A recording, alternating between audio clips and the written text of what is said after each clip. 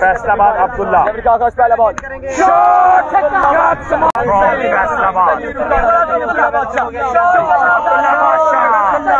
ball की fitness है सामने शॉट सोना बॉल